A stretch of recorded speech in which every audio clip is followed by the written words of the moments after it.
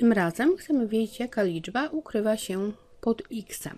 No to zauważcie, mamy tutaj po lewej stronie pierwiastek z 20, a 20 możemy zapisać, że to będzie 4 razy 5.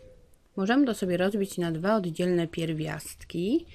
Pierwiastek z 4 to 2, 2 razy pierwiastek z 5 to 2 pierwiastki z 5. Czyli zamiast pierwiastka z 20 zapiszmy sobie dwa pierwiastki z 5.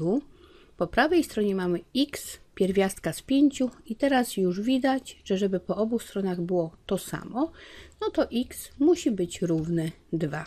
Spójrzmy na podpunkt B. Tutaj sobie najpierw wyłączmy czynnik przedpierwiastek z tego, co mamy po lewej stronie, a 40 to będzie 8 razy 5.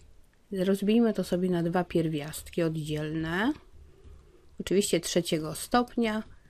Pierwiastek trzeciego stopnia z 8 to 2, czyli mamy dwa pierwiastki trzeciego stopnia z 5 zamiast tego pierwiastka z 40 równa się x pierwiastków trzeciego stopnia z 5, czyli żeby to było sobie równe, czyli żeby po obu stronach mieć dokładnie tę samą liczbę, to w miejscu x musi znajdować się dwójka, no i to będzie odpowiedź.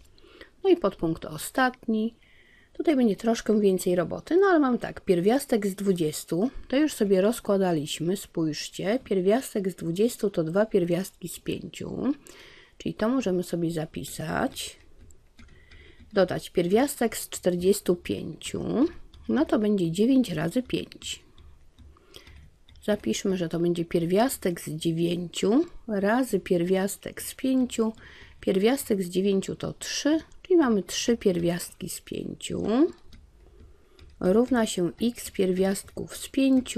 No i teraz po lewej stronie mamy wyrazy podobne, bo i tu, i tu mamy dokładnie taki sam pierwiastek, czyli 2 plus 3 to 5 pierwiastków z 5 równa się x pierwiastków z 5, czyli żeby po obu stronach była taka sama liczba, to oznacza, że x musi być równy 5.